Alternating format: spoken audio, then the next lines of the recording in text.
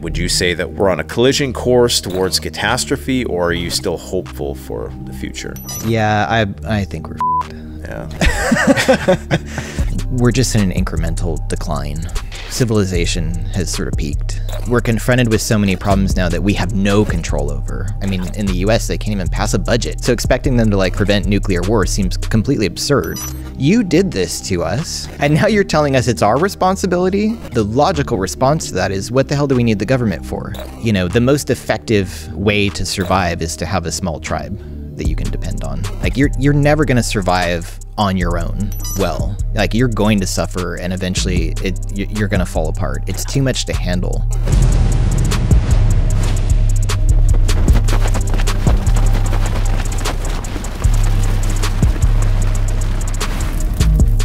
Hi, folks. Canadian Prepper here. This is part two of my conversation with Dr. Bradley Garrett, the author of Bunker What It Takes to Survive the Apocalypse.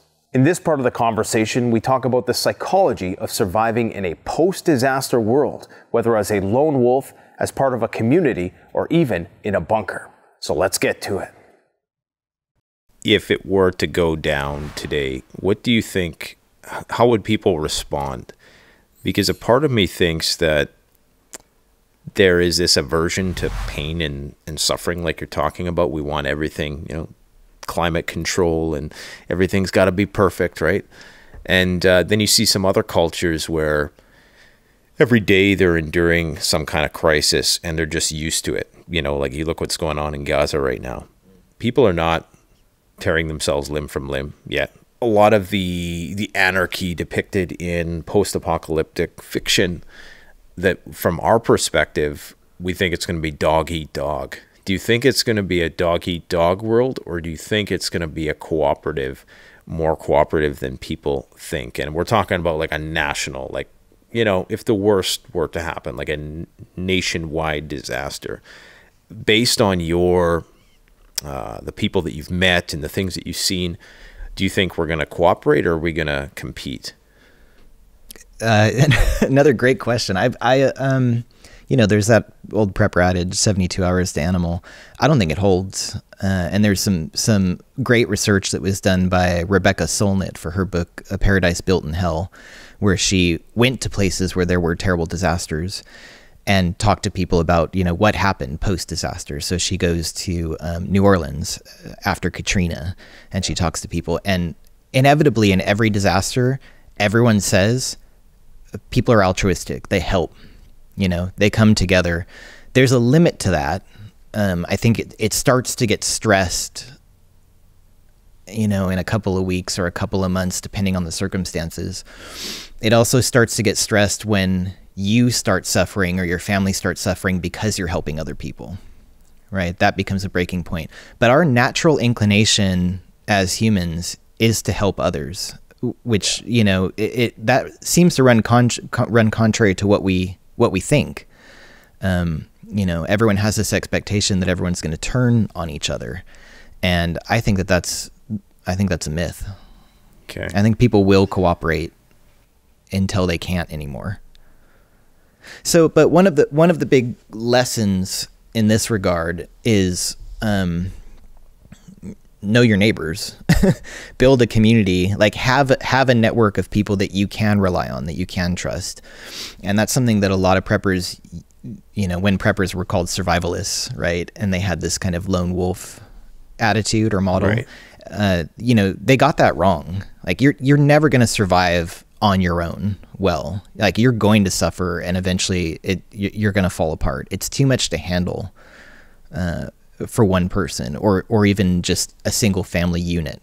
Like you really need to be able to have uh, people that you can depend on, and uh, you know even better if you can start building a, um, a mutual assistance group now, where people have complementary skills. So it's like okay, you know, you're you know how to purify water, I know how to bake bread, you know this person over here knows how to how to rig up a solar panel to an inverter and and get some power going.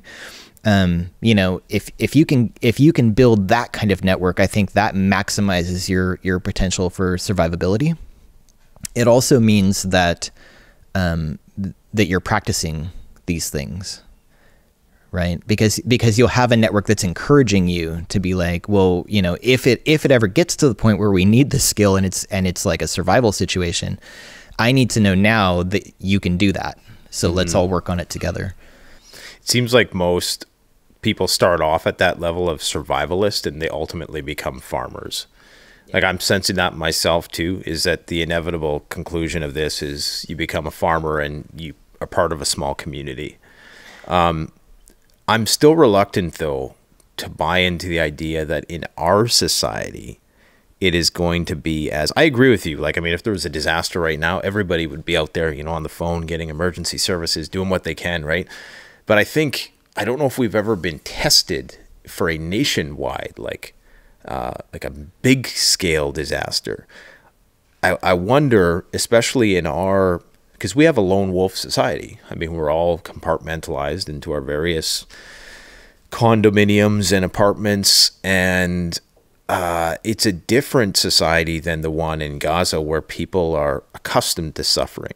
They're accustomed to having to dig people out of the rubble. I mean, their immediate reaction isn't an aversion to, you know, it's it's to, to help, like you're saying, the altruistic motivation. And I think you see that pretty much everywhere so long as people know that help is on the way, right? right. So long as people know that, okay, this is a regional disaster and not a nationwide one. But what happens if the emergency broadcast system goes off? Does that human behavior change then? I guess is the question because I think that we have a very unique set of circumstances and maybe you you know you differ in this perspective that we have a lot of people who are uh, self-medicating. We have a lot of people who are probably disproportionate amount of people on psychopharmaceuticals here in the West who are dependent on that to maintain some equilibrium and be able to function in this crazy world. And we have uh, a dependency on technology that is typically uh, much greater than in a lot of these other more collectivist societies. I worry that I should say worry. It's not like I'm staying up all night um, thinking about that. But uh, I, I am concerned that the outcome in a nationwide we may get that dog eat dog, but maybe we're wrong. Maybe we're off the mark. Do you think that in a nationwide disaster, the results, the outcome would be the same? I think your point about the framing of time is is really important. You know, so there were a bunch of studies that were done during the Cold War where because they wanted to know uh, like if there were to be a nuclear attack and you put a whole bunch of random people in a bunker together, do they kill each other in the bunker? like how yeah. long how long can they last in there? Um, you know, because designing the bunker is uh, you know, your first challenge is technical, it's an engineering challenge, it's a construction challenge, but then once the thing is built, it's pretty much a social challenge right? Like, can you get people to get along? And do you need to have some sort of, you know, authoritarian system of top down order to, to keep order in that bunker or what? So they did these studies um, where they would put, you know, a couple hundred people in a bunker for 14 days. Hmm. And that, you know, that would be the time at which, uh, uh, in a nuclear fallout situation, the radiation levels would drop to the point that you could leave the bunker relatively safely, right? Yeah. Um, and it worked fine. You know, people went down, they cooperated. Uh, they might have had a bit of friction, but it gets solved. You know, and they make it through. But the problem with all of those studies is they knew they were coming out of the bunker in 14 days. Right. Right. Right. So there was um, certainty. There was yeah, there was some sort of certainty around time. So you know, let's go back to COVID again. Part of the reason that people started going nuts is because they they didn't know what was going on and how long it was going to last. Like first first it was week, then it was months, then it was years, and people started cracking. You know, like when does this end? How long do we have to keep doing this stuff? You know, how long do our lives have to be upended? So I think that question of time is is really important, and um, I started thinking as I was writing this book, I was, you know, like going to people's bunkers and looking at all of their their supplies and talking to them about their plans. And the thing that kept occurring, reoccurring to me was that they always talked about time. Right? It was like, oh, I'm, you know, I've got three months of food and water. Yeah. Um, uh, I can, you know, I can stay in this bunker for a year or three or five. You know, the, the most elaborate bunker that I went to, he said he could he could stay down there for five years with sixty people. Right. I remember that one. Yeah, I mean, you know, okay, five years, but there's uh, there was always a time attached to it. It's like you have to have an end point, otherwise people go nuts. Um, so I think that you know it makes sense to think about the bunker in those terms. You know, what is the period of time that you're willing to stay down there, or what is the the period of time that you're that you think you can hold people together, uh, whether it's your family or a larger community, and sort of you know aim for that. Um, but you know there there's going to be a threshold in every situation where you can't hold it together anymore, and people are maybe going to turn on each other. Uh, you know that's that's a different kind of preparation, right? yeah, those those bunker studies are are really um, they're great because there's something you reference in there called Dunbar's number, which is a certain number of people that can kind of cohabitate with minimal amounts of tension within the group. Uh, that's like 150 people. Yeah, it's, the... it's minimal tension and and maximizing cooperation. And the important thing is having like a small enough amount of people that everyone knows each other. Yeah, that's how you keep social cohesion. Of course, you know, modern society has like totally blown past this. You know, we live right. in we live in huge societies now with millions of people in don't many countries. Know anybody. We don't know anyone. Yeah, and that causes that atomization. Um, so you know, the most effective uh, way to survive is to have a small tribe that you can depend on. That's that's what Dun- Dunbar's number is pointing to. It's almost as if perhaps if something you know were to happen, that it, there'd be this cascading effect that could go in one way or the other. It seems like it could get wildly out of control in one way, like if people started looting and stuff like that, you could see things maybe quickly start to unravel. But then on the other hand, depending on what the launch off point was, if everybody was, you know, started working together initially, like it, it almost seems like the the uh, the initial reaction could shape the outcome in a lot of ways. Hmm. Because I think in a lot of major cities, you'd probably have, yeah, you'd have people taking advantage of the situation maybe, and um, so I guess the it would really depend on what people's perception is like you say, the uncertainty of it all in a. Have you seen the movie Leave the World Behind? Oh yeah, yeah, yeah, yeah. So in that movie, they try to depict the uncertainty aspect of like a large scale cyber attack, and so you don't know what, and there's all this confusion because everybody's getting different messages sent to their phone about while it's the North Koreans, it's the and then this triggers infighting and civil unrest, and you don't know who to trust. And in a situation like that, I think the you know we might see the other side of humanity, but uh, I'm hoping we see a more cooperative. I, th- I think maybe in smaller communities you'll definitely get that, like you say, where you know people, right? Well, I mean that that was a powerful film because it it, it pinpoints this sort of dread that we are all experiencing now, like this uncertainty about the world, right? And the more uh, misinformation we're fed, the more we're unsure about what's going on out there in the bigger world, the more that dread sort of like builds up, you know, and then it it start it's it's toxic, you know, it starts making you distrust people, and the easiest way to diffuse that is just to ignore it all and like yeah, actually go meet your neighbors, you know, have conversations with real people, build real social connections. Like that is the best buffer against the collapse of society. That's great. That's a good uh, soundbite. meet your neighbors. Meet your neighbors. Yeah. yeah. Um, so you you talked about different types of preppers that you came across. Uh, how would you categorize the different types of preppers? that you that you met. I think you had different um, terms that you used to describe the different groups. Yeah, I you know obviously every everyone loves hearing about the the, the elaborate bunkers, you know. Right. Um, and so you kind of you know with the bunker the bunker builders uh, often they're ex-military or they worked for the government you know there's a there's a lot of um, focus put on offense and defense. Um, and then it kind of feels to me like on the other side of the spectrum, uh, you know, you've got the homestead preppers that are like, we need to learn growing seasons. Above we, ground we preppers. Above ground preppers. Yeah. We need to grow our own food. We need to know our neighbors. We need to, you know, build a collective ranch or whatever. Um, and then you've, you know, you do still have the, the lone wolves, right? That are like, I'm going to go buy a bunker from Atlas or Rising S and I'm going to dig up my backyard and I'm going to put it in there and maybe I'm going to do it in the middle of the night and then you know put up a fake sign for a, a grass reseeding or something. How did you know so my neighbors so there was there was actually one of the stories in the book um, is uh, I went to I think it was Rising S and a client hired them to put a bunker in their backyard, but they didn't want their neighbors to know, and so they they sent them a, a message saying that they had won a, a trip. I don't know, it was like a, like on a cruise or something, but the neighbors had actually just paid for it.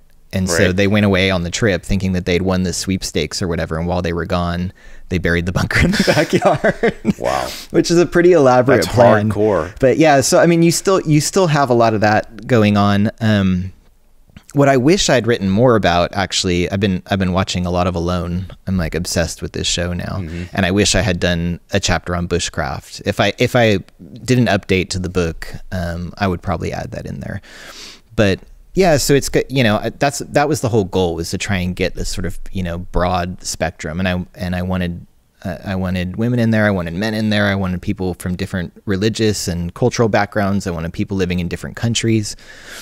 Um, so you know that was that was the goal, uh, and I did find that there were, um, you know, even though there are, there are differences in the way uh, that people prep, um, that shared methodology was really important. You know, people all over the world are sharing the same information about what's working and what isn't. Um, and you would see that playing out on the ground, and that was always really fascinating. I, it was also really fascinating to see people in communities who had drastically different beliefs. Um, and in normal circumstances, these people would not speak to each other, you know, in, in our current partisan political climate. And yet here they were, like, you know, putting in a wood burning stove and built and, you know, installing solar panels and getting along perfectly fine because they were focusing on something practical. I think there was a there was a, a really important lesson there. Hmm. Well, that's interesting because I've always thought that when you look at shows like The Walking Dead or something, I know it's fiction, but your central preoccupation in a situation like that is survival. And politics becomes like a luxury at that yeah, point. it's, irre- it's irrelevant. Yeah. So, do you notice uh, w- how do you think the left right paradigm maps on to preparedness then when you're talking about the, the hole in the ground preppers to the above ground preppers? How do you think, in your experience, all that plays out? Are you seeing more leftist sort of preppers? Because I, I, I've noticed that, that the, and it's something I actually predicted, you know, when Trump was elected. I, I suspected that you're going to see a lot more people on the left starting to prep now for obvious reasons. But uh, so, uh, how, what is your perception of how the left right paradigm plays into this preparedness thing? And, and maybe just elaborate a bit on what we were talking about with respect to how it, it kind of dissipates when it's a survival situation. There's no like survival is colorless. It's uh, you know there's it's just about getting what you need to survive, and you realize all these other differences are just luxuries that we can debate about these things. And Well, it's you know you do have to have an affluent society to be worried about those things, you know, and you so have to be not in disaster to prepare for disaster. Right, right. and so so we can see that as I mean, there's there's a there's a, a, ray of optimism there that like we're actually doing pretty well as a society if we if we have time to worry about all this other crap, you know. Um, but allowing ourselves to become fixated on it is is um, part of the problem. Uh, in terms of the the political spectrum, when I started writing the book, obviously I had like the traditional thinking about it as like left is over here and right is over here, like it's a like it's a linear um, uh, trajectory. But actually, the more I spent time with people, I found that it's more like a circle. Like people on the hard right would say exactly the same things that people on the hard left were saying, like distrust of the government, beliefs in conspiracy theories, you know, not wanting to be part of society, Like, I don't want to pay my taxes. I don't want the government in my business. Like, you would, you know, you would hear that narrative from people on on the hard ends of that political spectrum. So they would end up weirdly cooperating in some of these communities. Like, you'd have someone out there trying to build an eco house with like you know tires or hay bales or whatever, and then someone out there building a bunker, and they're all cooperating in the same community. Um, that was really fascinating, but you know most people weren't there they were they were you know somewhere in the middle of that spectrum. And um, the other thing that that was kind of interesting was that you know I had an expectation uh, that I was going to be running into like white fat middle class men, right? That were going to be building this stuff, In and of course I was just told military fatigues uh, and, completely, yeah, and I and that was just blown out of the water like immediately um, I started running into uh, people that were living in cities and they were prepping and they had really small spaces and they're, you know, working in the tech sector or whatever, but they're like stuffing stuff under their beds and, you know, filling every closet in the house. Um, we saw uh, a dramatic upshot in millennials prepping after COVID. Um, I think the, the last statistic that I saw from the United States was um, that 56% of millennials said that they had they had purchased emergency supplies. Fascinating, right? Yeah. So that that's not I wasn't expecting that. Um, We're getting old. Uh, yeah, yeah, but I, you know, it's it's not the um, it's not the monolithic culture that that people think it is, or maybe that it once was. You know, perhaps if I had written this book ten years ago, it would have a very different shape. Um, but I did find a, a pretty diverse and interesting community out there. Like you know, like like we discussed, there were a lot of people on the fringes, but most people were um, pretty practical in the way that they approached it, and were weren't uh, didn't have an aversion in any way to working with someone that they didn't agree with because they have the same goal ultimately. It seems like it's a way to bring people together then too, in a way. Like the guy built the bunker and the guy in the yurt like there there's some weird overlap there. It's you know the the fact that you weren't able to put the the bushcraft element into here is is too bad because I do think that there's another dimension to the political spectrum with respect to bushcraft too. It kind of knows no politic because I know people who are very, you know, can be construed as on the right who like bushcraft and just as many, you know, because it's a very like hippie sort of pastime to be out there in the woods and doing stuff, right? So there's this interesting. Um, it, it, seems to bring people together in a lot of ways, um, even though they're kinds of on these en- on the ends of the spectrum. But you, you had said something in the book with respect to bu- building bunkers as an act of civil disobedience and a way to hide from the increasing like surveillance society that it's symbolic of our desire to to retreat from what some people are saying is like a developing totalitarian regime. What do you uh, what do you make of that? Um, you know, in terms of of I guess what social scientists might call surveillance capitalism, you know, we're kind of moving into this area where um, you know we're being watched from space. Everything's been mapped.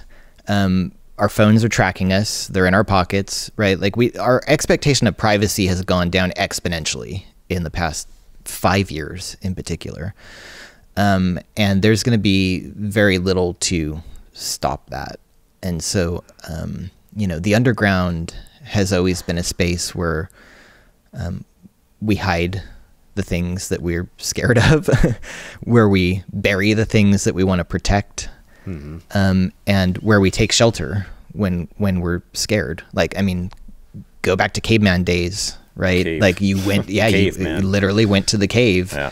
And piled up rocks in front of it because you know you were afraid of what was happening out there. But it's also where you would go to stash your supplies, right? I yeah. don't want an animal to get these, so I'm going to put them in a jar and put the jar in the cave and block the cave up, and then I can come back for it. It's a cache, right? So um, it seems like you know, the underground is also becoming a space now where we can cache ourselves. um, I mean, there's a there's a particular kind of freedom that's becoming more and more rare when you know that no one's watching you that no one can watch you. And I experience this as an urban explorer all the time. You know, I was I was living in London, a city of 20 million people, and then we would open up a manhole and go into the sewer and close the thing over us, and then we could walk around under the city all night long and no one knew we were there. And our phones didn't work, and we could spend all night exploring and hanging out with each other.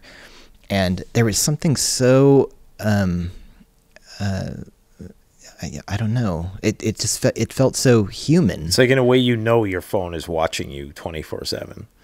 Like in the back of our minds, we have to realize that you know our phones are listening, possibly recording.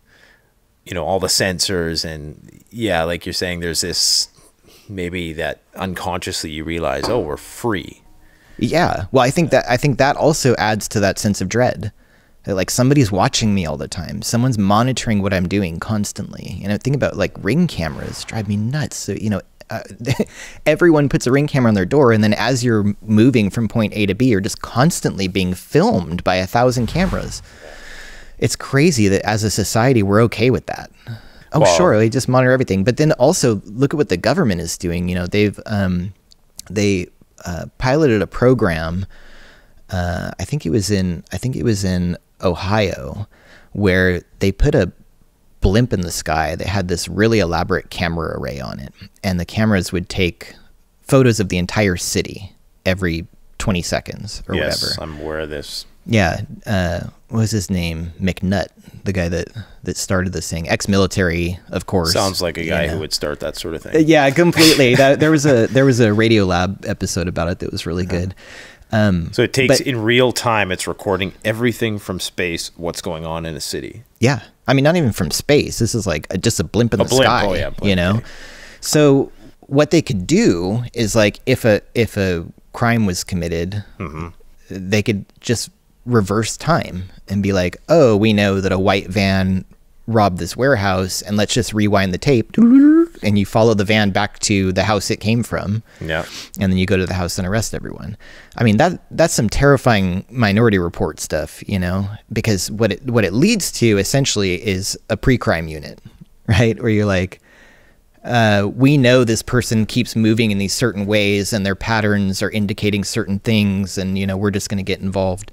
So I, all of which is to say i think that's the kind of stuff that makes people feel um, uh, the sense of like low level anxiety this hum that like i don't yes. know who's watching me but when you get underground it goes away that frequency isn't there yeah. That low hum that you're talking about. It's not there. Dissipates. It's like it's like I used to think about it in London as like a uh, like um an urban wild. You know, it's like it's like being off by yourself in a forest where you know no one's there and like you could strip down and go nuts. You can do whatever you want. No one's going to hear you, no one's going to see you. Yeah. If you left your phone at home. But, you know, you can find that in the city, which is a, which is a really cool thing. And I think AI is only going to make it worse with respect to, because that's what's going to connect all the data together.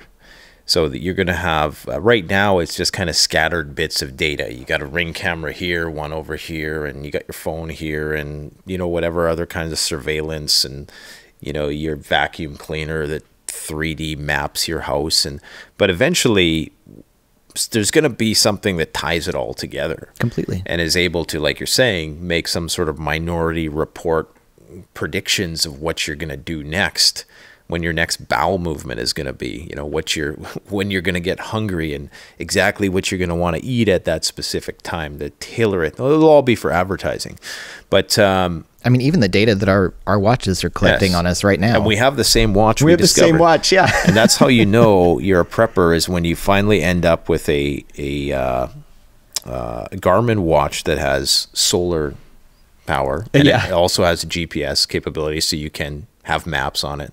Solar powered GPS watch but it's all but it's also feeding all of this health data exactly to an algorithm which eventually ai is going to scrape mm-hmm. and then it's going to start making assumptions i mean imagine your you know healthcare premium shooting up because your watch is like you you don't walk enough and i can see from your heart rate that you've been drinking three days a week, and you know what I mean. Yeah. This is where we're headed. So So the bunker is a, a place of, of refuge from that in a way. So you're saying that maybe there's it's not just about preparing for collapse, it's also about preparing for the present.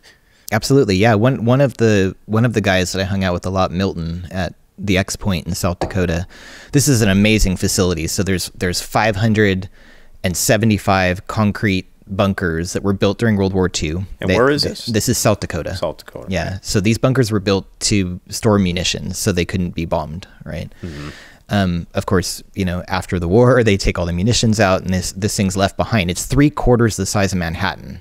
This bunker field. Yeah.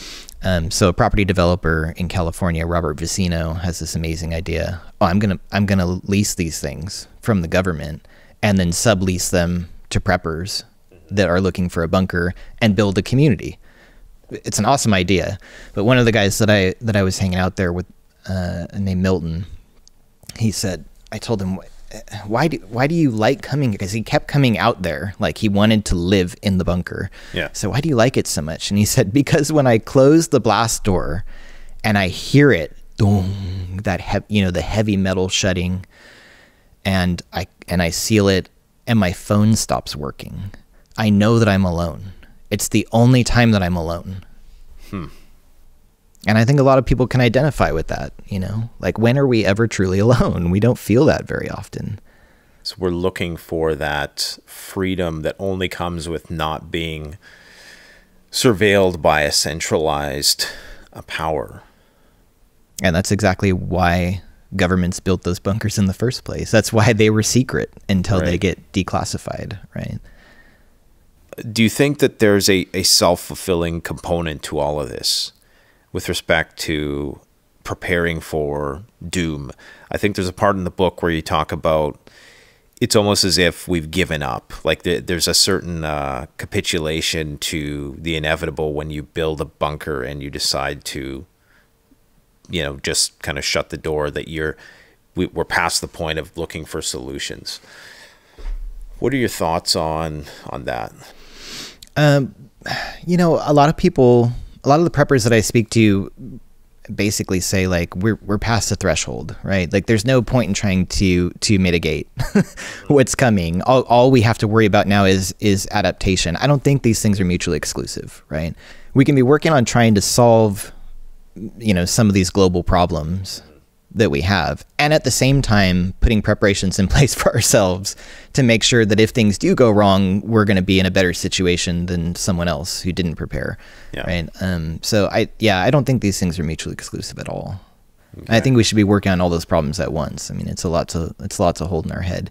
What's frustrating for most people, I think, and where the and where this dread comes from, is that we're confronted with so many problems now that we have no control over, and it feels like we can't steer politicians, we can't steer governments in the direction we need to to get them to solve these things. You know, it's like they can't. I mean, in the U.S., they can't even pass a budget Right. you know they can't they can't even fund the government you know so expecting them to like solve climate change or or prevent nuclear war seems completely absurd like these people are, are inept and i think you know that's where a lot of that frustration comes from but um you know you can you can spend all day worrying about that and you know keeping yourself up at night or you can just accept that that's where we are in the history of human civilization and uh, you know we can try and work on it incrementally to change that. And in the meantime be putting our our stockpiles in place in the background to make sure that we're not a victim or or we're not the one that needs to be rescued you know if and when things do go terribly wrong Very interesting. yeah, I think th- I mean that's another aspect of that altruism, right? Is it um, and and a lot of people told me this. I was writing the book. They said, you know, there's a misconception that prepping is selfish. That this is about, you know, I want stuff, I want to keep myself and my family safe, but I don't care about anyone else. And they said that's, you know, that's not that's not the case at all. What we're doing is making sure that, you know, when emergency services is deployed, they don't need to rescue me. And in fact, I might be able to rescue go rescue someone to take even more pressure off of them. Exactly. You take the pressure off the emergency services in a lot of respects. Yeah. And that, you know, that whole mindset goes back to the Cold War because you have to remember um, I mean, well, we don't remember, but you know, there was a there was a point in time when people were fairly sure that there was going to be a nuclear exchange, mm-hmm. and some countries took that very seriously and put preparations in place for their citizens. So S- Switzerland famously has, you know, bunkered space for more than 100% of the population. Right. Which is wild, right? Like what a crazy infrastructure project. Um, North and South Korea really prepared Israel, you know, I think since uh, 1963 uh, have mandated that you have had to have a bunker inside your house uh, when it's constructed. A mamad, it's called. It's like one room in the house. Um, so the the response in this part of the world was very different. So in the U.S., you had um, John F. Kennedy in 1963 giving this speech where he essentially says, um, uh, you know, uh, the conf- in the conflict with the Soviet Union, uh, we need to depend on you to make yourselves prepared for for what may come. I mean, he essentially told Don't people ask what your country can do for you. that's exact. That was exactly Yeah. the line, you know. But and and Sears started. They they were putting out this like you know Sears catalog that everyone would get at that time, and they were actually selling bunkers in the Sears catalog. And Life magazine had this whole spread on like a letter from the president telling you to build a bunker in your backyard. You know, I mean, it's like what a what an amazing thing. But um, what that came down to was that Do you think we're going back to that? I think we are going back to that. So nuclear planners at the time basically like tried to budget out what it would cost to build bunkers for for every citizen and it was more than the GDP of the entire country for a year. So so they couldn't afford it. But it also was the moment I think when people started losing faith in the government, right? Because like the the the fundamental, the primary function of a government is to keep its people safe. Yeah. And essentially, what the president was saying is, we can't. Yeah. We created this thing, we created this monster, we can't control it, we're not sure what's going to happen, and please, can you take care of yourselves? Right? So then the logical response to that is, what the hell do we need the government for? You did this to us, right? Mm-hmm. And now you're telling us it's our responsibility to prepare for it. So you can see where that frustration came from that led to that kind of lone wolf survivalism, you know, where people were like, actually, how about I just stop paying taxes and I move into the woods and I do build my bunker and you just leave me alone? Like, I want nothing to do with the government anymore because you've abdicated your responsibility to keep me safe. You know, that is, um, uh, social scientists talk about that as the first doom boom when people started building all those bunkers. I, I think that we're in the midst of a second doom boom right now. And so people have obviously lost faith in a lot of the institutions, including the media, the government, and that is fueling this uh, mad dash for self preservation that we're seeing that in some ways seems somewhat self fulfilling because I think uh, when you're when you're investing in, in preparedness, and we were talking about this earlier today, where th- there's a certain uh, validation that comes with disaster because you knew, oh, I was, you know, I this is what I was preparing for, right? And if disaster never comes, it's kind of like you feel as though, well, maybe I'm maybe I'm off the mark, maybe this is a waste of time. Um, do you feel that there's an inevitability to the many crises, uh, be they the, the prospect of, I, I call them like endogenous existential threats, things that weren't perhaps present 100 years ago, like the climate issue, the uh, cyber attack component, uh, the climate, uh, uh, you know, the nuclear threats, technologies that, you know, were non existent 100 years ago that are presenting themselves as actual um, Anthropocene extinction level events that could unfold. What is, if you had to, you know, place a bet, would you say that we're we're on a collision course towards catastrophe, or are you still hopeful for the future? You're gonna you're gonna make me be a pessimist. That's, that's the goal. Yeah. Misery loves company, as they say. know? Yeah, I I think we're fucked. Yeah. No, I, I it's- uh, but I don't I don't believe necessarily that there's going to be a massive existential event that's going to you know wipe out 80% of humanity or something that's not mm-hmm. that's not really where i'm at i i think that we're just um we're just in an incremental decline that mm-hmm. you know civilization has sort of peaked um and we're we're on the downslide right now um running out of resources uh you know I mean, look at look at the the uh, um, Lake Powell in the western U.S. is at its lowest level since the dam was, since the Hoover Dam was put up, you know, and it just keeps dropping and dropping, and soon the dam's going to stop working. And again, it's like we have a government because they're supposed to fix this stuff, and they're totally inept. They're just not. They're not doing it. Yeah. Um, and then of course the climate crisis. You know, this uh, as these weather events get more severe, more intense, more unpredictable it becomes really hard to prepare for and to deal with, right?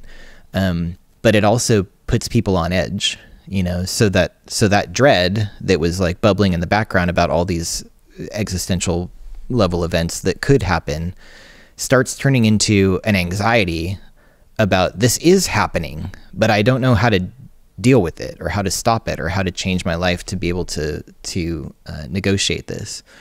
So I just I see things slowly falling apart.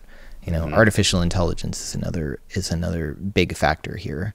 That you know the the potential social and economic impacts of rolling out AI um, is just going to cause so much uh, frustration and and heartbreak and despair. You know, it's like that's not where you want a civilization to be or a society to be. You know, you want people to be hopeful and optimistic and looking forward to the future, you know.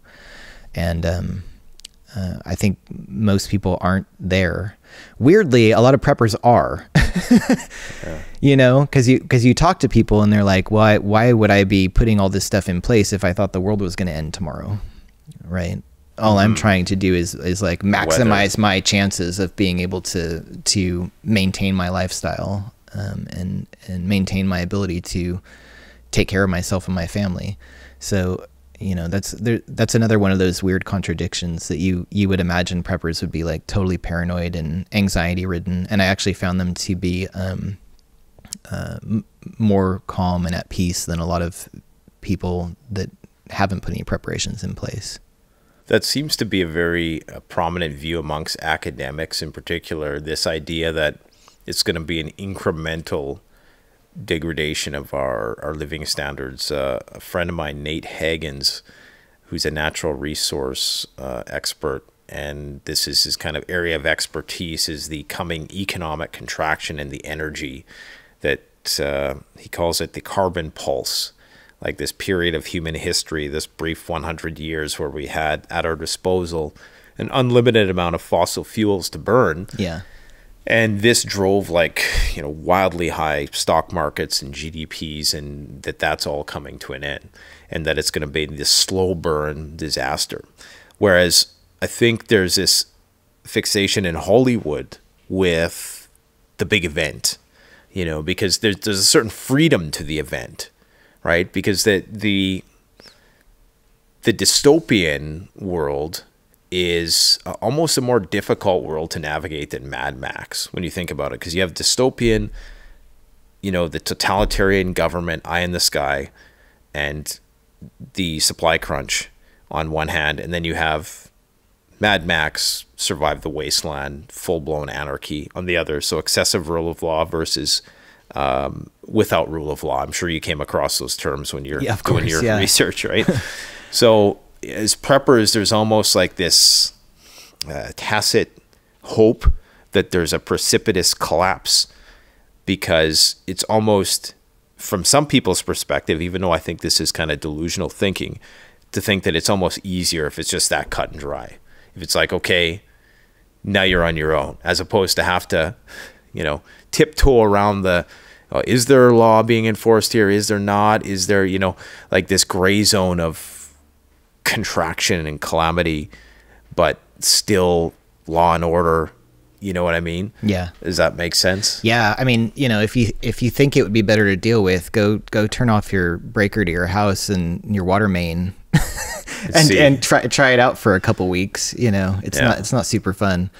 Um, It's a lot of work. it's a lot. It's a lot of work. Yeah, I mean, I find uh, that when I'm when I'm camping, for instance, like your life just becomes totally dominated by logistics. Yeah. Like you're just constantly packing and unpacking and repairing and finding food and cooking food, and that's all you do. You Yeah. know, Time. And, uh, yeah. So the question for me, the energy the, the energy from the grid is saves us so much time like that that oil like Hagens talks about how a barrel of oil is like five years worth of human labor yeah. But then what do we do with all of that extra time? We squander it. sure we squander it worrying about having all these you know petty concerns and whatever i mean that is so frustrating i guess that's the thing that that you know i i hope people would take away from the book is like you don't you don't have to uh, buy into all these narratives you don't have to believe a particular way um but you could be using your free time and your disposable income if you're lucky enough to have a disposable income in a much better way than most people are you know? Stop squandering time and resources. It's just it's not it's not healthy for us it's not healthy for the planet. Um, there there are better ways to be using our resources and and uh, you don't have to build a bunker but you know try fixing things in your house like get into DIY you know try build build your build your bug out vehicle that you get to enjoy with your family to go camping in you know but then also doubles as a kind of security blanket yeah. You bunker know. on wheels as you say. Yeah the mobile bunker yeah I call it. You talk about the bunker as a as a chrysalis. Mm. it's one of the things that s- stood out to me in one of the chapters of your book. Bunker as a chrysalis. What do you mean by that I just well, so this is exactly what you were talking about. That um, you know, people have this imagination that the that um, the world is going to be better after an event potentially, um, and the bunker plays a key role in that because it's like you you go into this bunker and you you're filled with anxiety and social expectations and work obligations and family stressors and all of that stuff right? But then you you go inside and your and your world becomes really small and manageable. And and some people told me that they saw that as an opportunity for self transformation like they imagined themselves becoming a better version of themselves once they were disconnected from everything else. And so when they emerge from the bunker into potentially the post apocalyptic world, right? They imagine a better version of themselves coming out of the bunker. So um, I, f- I found that really fascinating. And obviously, there's, there's, um, you can pick all sorts of holes in their logic there. Um, but I do like the idea that the bunker can be a place where not just not just a place where you get to disconnect, right? But also a place where you can improve yourself and improve and improve your situation and reset. Yeah, exactly. Well, there's a certain stripping of our neuroses that occurs after, you know, everything that uh, society expects a lot of people in terms of maintaining a job. And you got to go and you got to put your work face on and you got to, you know, and I think there's a lot of people in the absence of that, maybe they would be different maybe they would be their personalities would be slightly different. Or and maybe there's this hope for you know a reset so that they can be free from all of this stuff right? All these distractions and these obligations these micro obligations that we have these contracts social contracts. And i think there's a there's a certain overwhelm with all that that's that's happening where people want to revert to that simpler lifestyle. I mean, even just the idea of going camping in itself, why would a person do that? I mean, you got to go, you got to, you could go from a nice climate controlled place in a nice warm bed where you have a fridge, you have running water. What rational person, and why do I, like myself, I go camping all the time, why do I will, willingly put myself in that situation where I got to suffer? And I think the answer is, is because there's there's something about it that, um, like you say, it's it's revitalizing. It's you know, it it shows you uh, you can be the.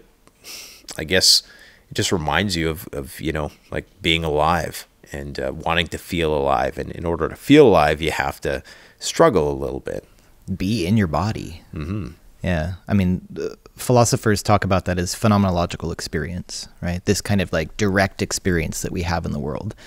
And most of modern technology, the whole point is to take us out of the world, to distract us, you know. Yeah.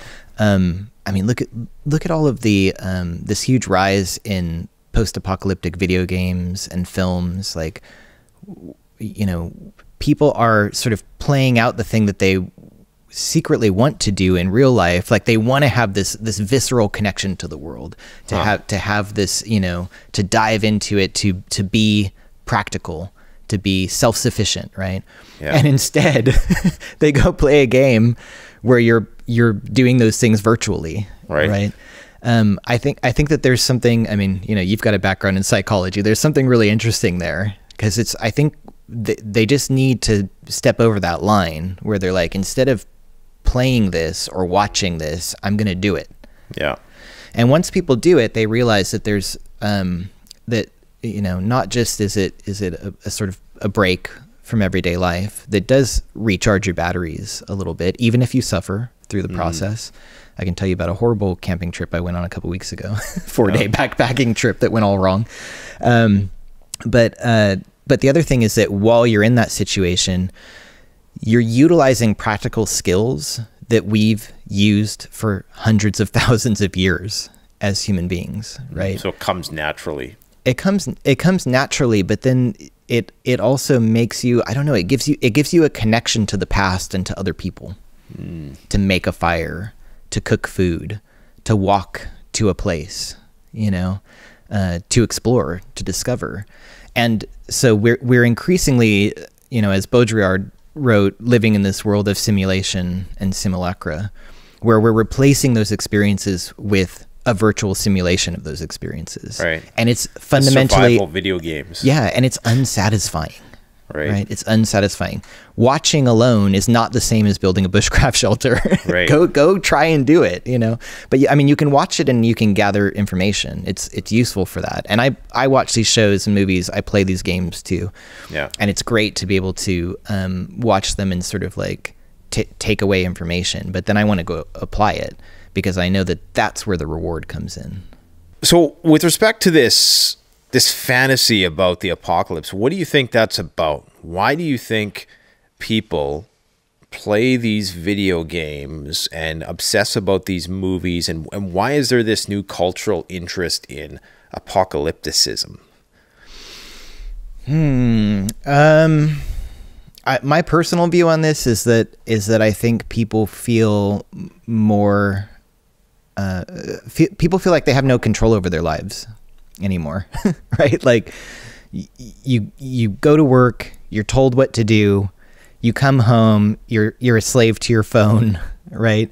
You've got you're constantly connected, constantly having to text people, call people. You're I mean you're, we're just on all the time.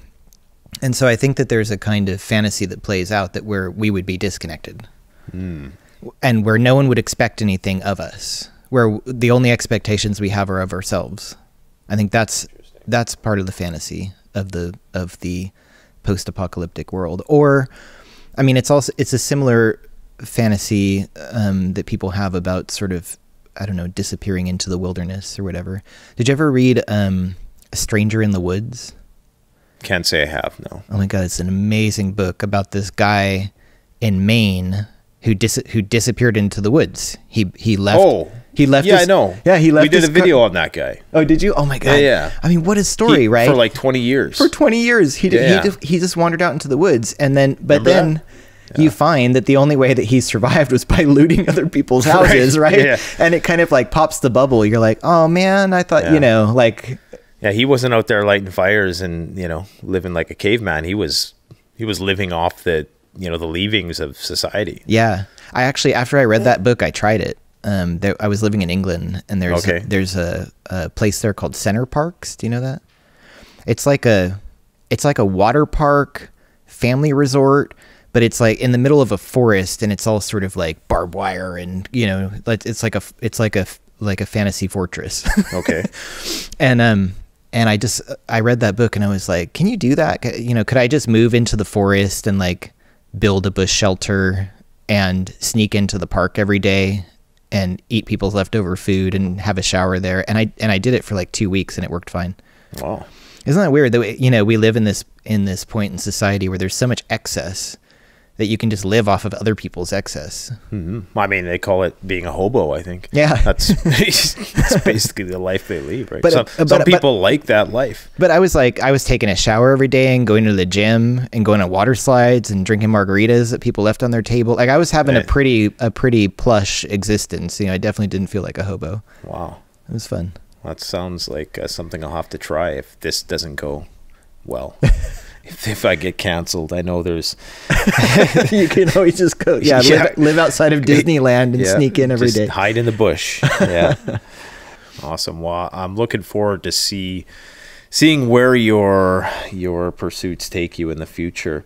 Is there any other um, anything we missed in terms of? I mean, I'm sure there's all kinds of specific bunkers and stuff that you visited. I would just encourage people to go and check out the book because it, it does go into great depth, uh, probably more than we can go into here today. And again, if you want to learn about preparedness culture, if you want to know everything there is for a civilian to know about the underground world, then uh, definitely go and check out this book. But thanks a lot for coming out. And where where else can people get more information about what you what you do? Uh, my website's bradleygarrett.com, uh, and on most social media, you can find me at Goblin Merchant. So, uh, most active on Instagram, but um, yeah, I kind of abandon X. Yeah, formerly known as Twitter. I don't know. Okay. I just when it got too weird. kind of, kind of, yeah, kind of jumped ship so. on that. But, yeah. but I don't know. You're inspiring me to to get back on get back on YouTube. I think maybe that's maybe. I think it'd be right great move. to share your adventures. I mean, you got a lot of information. I know my viewers would love to see you know some of the the visuals that go along with these stories. Oh, and, I've got I've got um, so much amazing like drone footage from these facilities that I've never done anything with. I mean, yeah, it's yeah. definitely I should dig through the archives and. Well, if you start a YouTube channel between now and the time of posting this video, we'll make sure that we link it in the description below, and we will put it on the screen right here. Awesome. So, Sounds good. But thanks a lot for coming out, man. Greatly appreciate it's it. It's been an absolute pleasure. Awesome. Super fun. Cool. The best way to support this channel is to support yourself by gearing up at CanadianPreparedness.com where you'll find high quality survival gear at the best prices, no junk, and no gimmicks. Use discount code PREPPINGGEAR for 10% off. Don't forget the strong survive, but the prepared thrive. Stay safe.